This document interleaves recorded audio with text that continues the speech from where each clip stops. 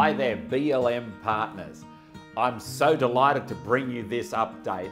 In the last three months, we've been able to minister in 11 churches and we've seen 85 people give their hearts to Christ. And many of those have become water baptized as well.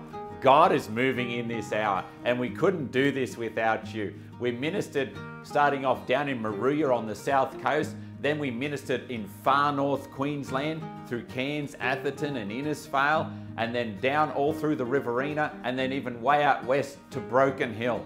And in every single meeting that we've seen, we've had we've seen God move and we've seen miracles break out. Out at Broken Hill, we had a man who was booked in for hip operation. He needed surgery on his hip. He'd been in constant pain for two years, and instantly he was delivered and his hip is set free. He's a new man. He's running and jumping on his hip. While we were there in Cairns, we had a lady with the bottom one third of her spine that was eaten away from osteoporosis. She couldn't move. She was in constant pain. She gets out of her wheelchair and she starts to walk. She even walked out to her car at the end of the meeting without the wheelchair. Praise the Lord. And then down on the south coast, we had another woman. Her eyes opened up. Can't see people's faces or right. read print or All right. see things up there. Okay. Like All that. right. Wow. Amen. Now, blink your eyes. Just blink a few times. Can you see my face? Yes, I can. All right.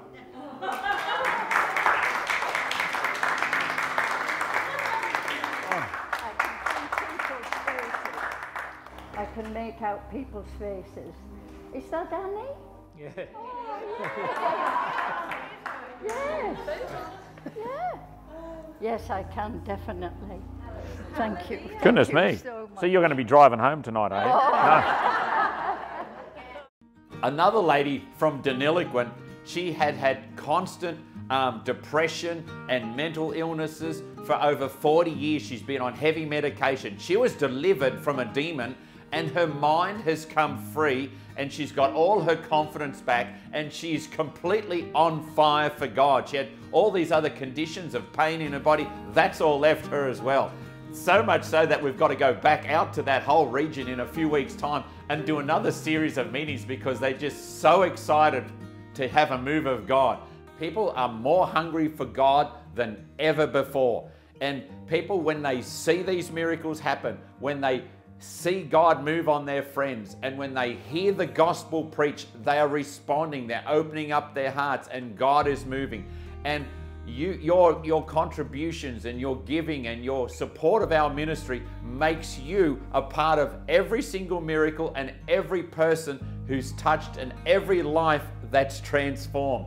And we get on an aeroplane tomorrow and fly to Melbourne, where we've got a whole series of meetings in a church down there this weekend. It's going to be the same again. We're going to see miracles happen. And then off the back of that, we're, we're going into Mansfield, into country Victoria, and then up again into the Riverina for more revival meetings. People are calling us to come back because more and more people are getting on fire for God. This is the hour to see the gospel spread.